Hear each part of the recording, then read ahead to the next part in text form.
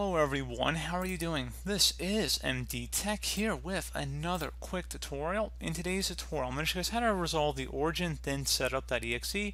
Code execution cannot proceed, and this relates to an MSVCP 140.dll as well as a VC runtime 140.dll was not found error.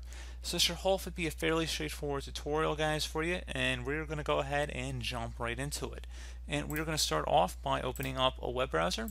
Doesn't matter which one, but for today's tutorial I'm going to open up Google Chrome, Visual C++ Runtime 2015 to 2019 and just search for it. One of the best results should be from, from a Microsoft support page. It says the latest supported Visual C++ downloads. Go ahead and open that up. You want to scroll down here and if you're running a 64-bit version of Windows, you'll select the times 64-bit version. Otherwise, if you're running a 32-bit computer, you'll run the times 86 one. Most of you guys will likely be running the times 64 one though. However, I have a virtual environment here, so that's times 86. For, like I said, if your computer is newer in the last 10 years or so, honestly, um, you're probably running a times 64 one if you're unsure. You can check it out. Um, you can look up my channel if you're unsure of how to find that. It's pretty easy um, to determine if you're running a 32-bit or a 64-bit version of Windows. You can search that up on your own time. But anyway, I'm going to select the one that's applicable for my computer here. And it just it won't run honestly. If you know you select the wrong one, it won't even run. So you'll know you have to do the other one. But anyway, we're going to go ahead and run the file.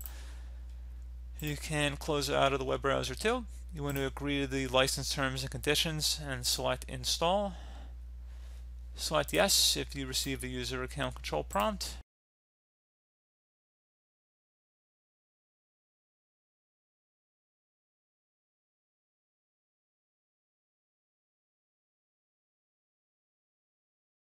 And should say setup successful, you must restart your computer before you can use the software.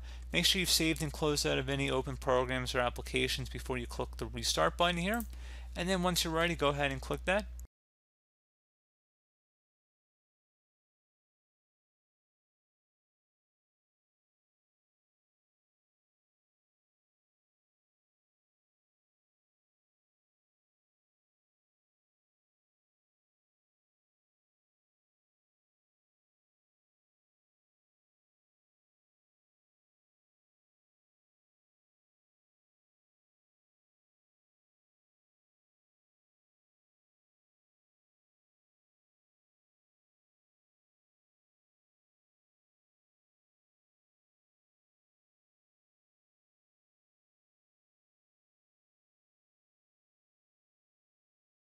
And hopefully once you've restarted your computer that should have resolved the problem.